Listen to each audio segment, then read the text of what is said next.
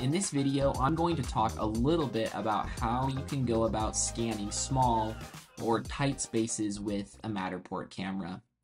As you can see in this tour, there's a bathroom here, and the, the person who created this tour, what the normal tendency to do is to go and place the Matterport camera right in the middle of the bathroom.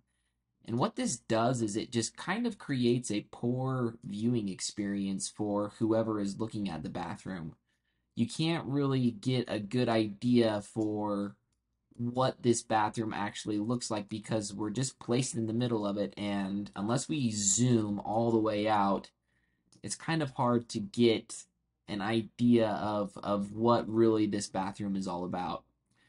We're going to take a look at just another example here. This is also another bathroom if I go in here, I notice that the person who created this tour also did a similar thing where, again, they just simply placed the Matterport camera here in the middle of the bathroom.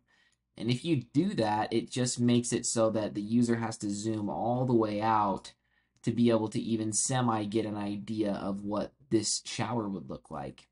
So one thing that we've done uh, when we are creating tours ourselves is we found that uh, the best thing that you can do when scanning a tight or a small space is actually place the Matterport camera in the corner of the room as far against both walls as you can. And what this does is it gives you, without zooming all the way out, a way better viewpoint of what this room actually looks like.